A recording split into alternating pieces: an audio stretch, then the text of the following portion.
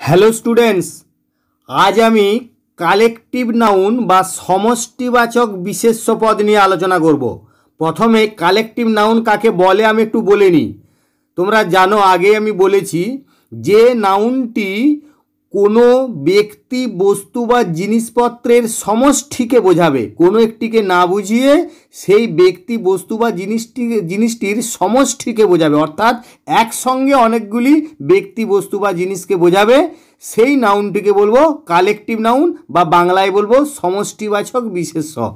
এখানে বেশ কিছু সমষ্টিবাচক বিশেষ্য বা কালেকটিভ নাউন উদাহরণস্বরূপ দেয়া হলো এবং এইগুলি কীভাবে বসে আমি এখানে ব্যাখ্যা করে দিলাম, তোমরা একটু খেয়াল করে দেখো। প্রথমে দেখো, এ হার্ড অফ কাউস অথবা goats, cattle, buffaloes, deer, elephants, swine, ETC. অর্থাৎ খুব বড় জন্তুদের যে দল বা সমষ্টি বা গোষ্ঠী, সেটাকে হার্ড বলতে পারে। অর্থাৎ এ হার্ড অফ কাউস মানে এক দল বা এক পাল গরু, এক পাল ছাগল বা গবাদি পশুর পাল মহিষের পাল বা হরিণের পাল কি হাতির পাল, শুকরের পাল ইত্যাদি এ হার্ড অফ করে বলতে পারি। সেইভাবে দেখো, এ ফ্লক অফ শিপ অর্থাৎ এক পাল ভেড়া, এ প্রাইড অফ লায়ন্স অর্থাৎ একদল সিংহ, এ ট্রুপ অফ মাঙ্কিস অর্থাৎ একদল বাঁদর, এ প্যাক অফ হাউন্ডস একদল শিকারী কুকুর, এ সোয়ার্ম অফ বিষ অথবা ফ্লাইস, অর্থাৎ মৌমাছির ঝাঁক বা মাছির ঝাঁক। আবার এ হাইভ অফ বিষ এক ঝাঁক মৌমাছি বা মৌমাছির চাক বা যেটা আমরা বলি মৌচাক, সেটাও বলতে পারি, এ হাইভ অফ বিষ সেইভাবে দেখো, এ সোল অফ ফিস বা এ স্কুল অফ ফিস, অর্থাৎ মাছের ঝাঁককে বলতে পারি, এ সোল অফ ফিস বা এ স্কুল অফ ফিস। সেইভাবে এ স্ট্রিং অফ ক্যামেলস বা এ ট্রেন অফ ক্যামেলস, অর্থাৎ একদল উঠ, উঠের যে সারি বা শ্রেণি সেটা বলছি স্ট্রিং অফ ক্যামেলস বা a train of camels a flight of birds অর্থাৎ এক ঝাঁক উড়ন্ত পাখি, যে পাখি উড়ছে, তার যে ঝাঁক, সেটাকে আমরা বলতে পারি এ ফ্লাইট অফ বার্ডস বা যে সমস্ত পাখি বসে রয়েছে আমরা দেখতে পাচ্ছি, তাদেরকে ফ্লক বলতে পারি, অর্থাৎ এ ফ্লক অফ বার্ডস অথবা এ ফ্লক অফ পিজিয়ন্স পায়রার দল বা পায়রার ঝাঁক, এ ফ্লক অফ ডাকস হাঁস পাতি হাঁসের ডাক ঝাঁক বা এ ফ্লক অফ প্যারটস অর্থাৎ তোতা পাখির ঝাঁক বা তোতা পাখির যে সমষ্টি সেটাকেও বলতে পারি। আবার দেখো, এ কলোনি অফ অ্যান্ডস অথবা ব্যাটস অর্থাৎ পিঁপড়ের যে দল বা পিঁপড়ে, অনেকগুলো পিঁপড়েকে একসঙ্গে বলা হয় কলোনি অফ অ্যান্ডস বা এ কলোনি অফ ব্যাটস অর্থাৎ বাদুড়ের যে দল সমষ্টি সেটাকেও এ কলোনি অফ ব্যাটস বলতে পারি। আবার পিঁপড়েকে এ নেস্ট অফ অ্যান্ডস এ কথাটাও বলতে পারি। এ নেস্ট অফ অ্যান্ডস অর্থাৎ পিঁপড়ের ঝাঁক বা পিঁপড়ের দল। এ প্যাক অফ উলস অর্থাৎ উলস মানে তোমরা জানো, নেকড়ে বাঘের দল। এ প্যাক অফ উলস তেমনি এ লিটার অফ পাপ্পিস অথবা কিটেন্স বা কাপস অর্থাৎ কুকুর বাচ্চা, বিড়াল বাচ্চা বা বাঘের বাচ্চা, ভালুকের বাচ্চা, এদের সব সমষ্টিকে বা দলকে এ লিটার অফ বলতে পারি, এ লিটার অফ পাপ্পিস বা কিটেন্স, কাপস ইত্যাদি। এ স্টার্ড অফ হর্সেস বা এ স্ট্রিং অফ হর্সেস, অর্থাৎ ঘোড়ার যে দল সেটাকে এ স্টার্ড অফ হর্সেস বলতে পারি বা এ স্ট্রিং অফ হর্সেস বলতে পারি। A mob of kangaroos kangaroo যে শ্রেণি বা দল, গোষ্ঠী, সমষ্টি, সেটাকে এ মব অফ ক্যাঙ্গারুস বলতে পারি। এ স্লথ অফ বিয়ার্স, অর্থাৎ এক পাল ভালুক। এ মার্ডার অফ ক্রোজ, অর্থাৎ এক দল বা এক ঝাঁক কাক। এ ক্লাউড অফ ইনসেক্টস পতঙ্গের যে ঝাঁক, সেটাকে এ ক্লাউড অফ ইনসেক্টস বা আবার বলতে পারি এ প্লেগ অফ লোকাস্ট অর্থাৎ পঙ্গপালের যে দল, সেটাকে a plague of locust a nest of rabbits বা মাইস অর্থাৎ খরগোশ খরগোশের যে দল বা সমষ্টি, সেটাকে নেস্ট বলতে পারি বা মাইস অর্থাৎ ইঁদুর বাচ্চাদের বা ইঁদুরের যে দল আছে, সমষ্টি আছে, সেটাকেও নেস্ট বলতে পারি।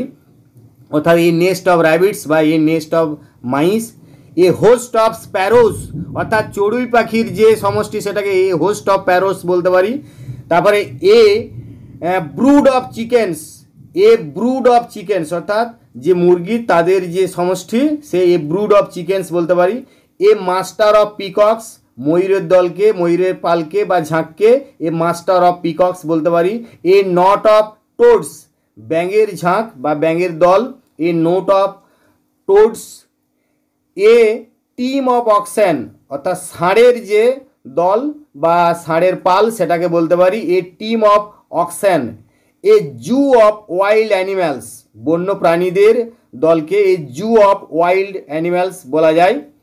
A drove of cattle a drove of cattle অর্থাৎ যে গবাদি পশুগুলো চালিত হচ্ছে বা চলমান গবাদি পশু, তাদেরকে এ ড্রোভ অফ ক্যাটেল এটা বলা যায়। এ বেড অফ ইলস অর্থাৎ বান মাছেদের ঝাঁক, সেটাকে এ বেড অফ ইলস বলতে পারি। A clutter of spiders a clutter of spiders অর্থাৎ মাকড়সাদের যে দল বা ঝাঁক, সেটাকে এ ক্লাটার অফ স্পাইডার্স বলতে পারি। এ গ্যাং অফ রবার্স বা ড্যাকোইটস থিপস অর্থাৎ চোর, ডাকাত, যে সমস্ত বদমাস গুন্ডা আছে, তাদের দলকে বলা যেতে পারে gang. A gang of robbers dacoits thieves pickpockets ইত্যাদি। A team of players inspectors doctors scientist এইসব খেলোয়াড় বা পরিদর্শক, ডাক্তার, বিজ্ঞানী এদের দলকে টিম বলা যেতে পারে। এ ব্যান্ড অফ মিউজিশিয়ানস বা পিলগ্রিমস, অর্থাৎ মিউজিশিয়ান সঙ্গীতজ্ঞদের দল বা পিলগ্রিমস তীর্থযাত্রীদের দল। আবার এই মিউজিশিয়ানদের দলকে অ্যান অর্কেস্ট্রা অফ মিউজিশিয়ানস তাও বলা যেতে পারে an orchestra of musicians a bevy of ladies বা বিউটিস অর্থাৎ মহিলা বা সুন্দরীদের দলকে এ বেভি অফ লেডিস বা বিউটিস বলা যেতে পারে। অ্যান আর্মি অফ সোলজার্স অথবা a battalion of soldiers a regiment of soldiers বা এ ট্রুপ অফ সোলজার্স এরকম বলা যেতে পারে। অর্থাৎ সবগুলোর মানে হচ্ছে সৈনিকদের দল। A an army of soldiers অথবা এ রেজিমেন্ট অফ বা ট্রুপ অফ বা battalion of soldiers a cabinet of minister অর্থাৎ মন্ত্রীদের যে সভা, মন্ত্রীদের গোষ্ঠী সভা, সেটাকে বলা হচ্ছে cabinet of ministers a posse of policeman বা কনস্টেবলস এ কনস্টেবল বা পুলিশের যে দল আছে সেটাকে এ পোসে অফ পুলিশম্যান অথবা কনস্টেবলস বলা যেতে পারে। এ ট্রুপ অফ অ্যাক্টরস অথবা আর্টিস্ট শিল্পী বা অভিনেতা, অভিনেত্রীদের, এদের যে দল সেটাকে ট্রুপ বলতে পারি।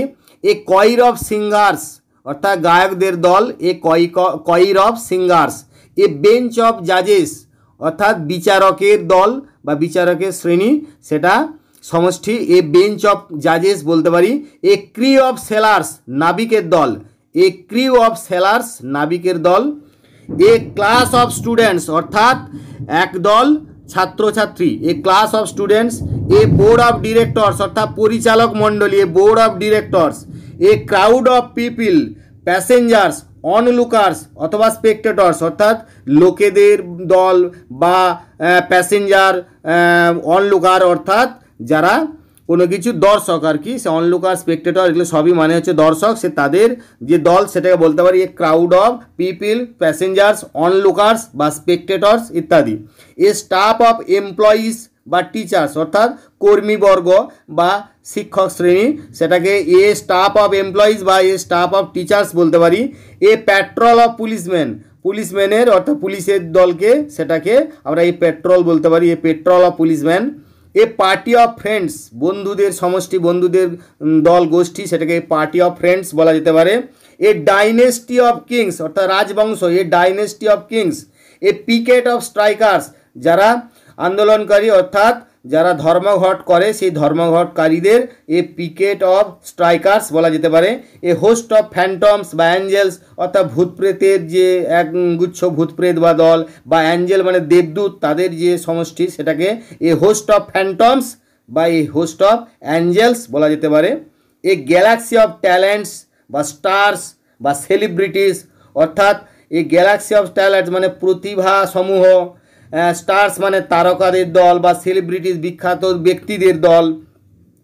এ স্লেট অফ ক্যান্ডিডেটস অর্থাৎ পদপ্রার্থী বা প্রার্থীদের যে সমষ্টি, সেটাকে এ স্লেট অফ ক্যান্ডিডেটস বলা যেতে পারে।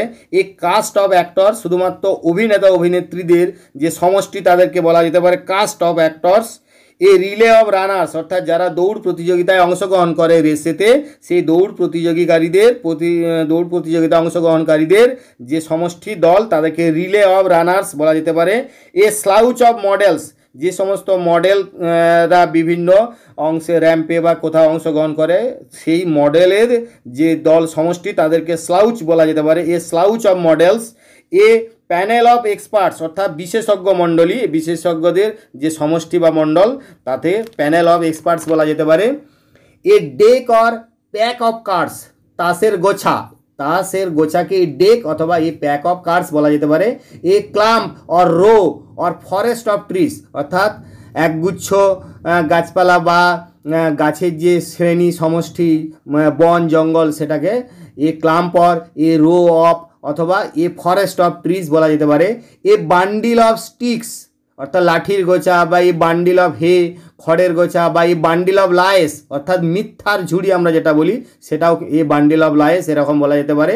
এ বান্ডিল অফ স্টিক্স অথবা এ বান্ডিল অফ হে অথবা এ বান্ডিল অফ লায়েস তারপর দেখো, এ বাঞ্চ অফ কিস অর্থাৎ চাবির তোড়া বা চাবির কাঠির গোছা ফ্লাওয়ার্স, ফুলের গোছা বা ফুলের তোড়া, গ্রেপস, আঙুরের তোড়া সেগুলোকে এভাবে বলতে পারি, এই বাঞ্চ অফ কিস অথবা এই বাঞ্চ অফ ফ্লাওয়ার্স অথবা এই বাঞ্চ অফ গ্রেপস সেইভাবে এই হিপ অফ ফাইলস অর্থাৎ যে ফাইল কভার ফাইল আমাদের ফাইল অর্থাৎ দরকারি কাগজপত্র রাখার জন্য যে ফাইল আমরা ব্যবহার করি সেই ফাইলের স্তূপ অথবা স্টোন পাথরের স্তূপ অথবা স্যান্ড বালির স্তূপ, সেটা বলা যেতে পারে হিপ অফ ফাইলস অথবা এই হিপ অফ স্টোনস অথবা he a heap of sand a stack of wood কাঠের যে গাদা, সেটাকে বলে stack of wood a pile of books অর্থাৎ বইগুলো গাদা করে রাখা থাকলে পাইল অফ বুকস বা কোথাও আবার কখনো আমরা এ লাইব্রেরি অফ বুকস এই কথাটাও বলতে পারি, এ বান্ডিল অফ ক্লোথেস অর্থাৎ কাপড়ের যে নুটি, সেটাকে বান্ডিল অফ ক্লোথেস বলা যেতে পারে, এ সিপ অফ প্যাডি বা গ্রেন অর্থাৎ দানা শস্য বা শস্যের যে আঁটি,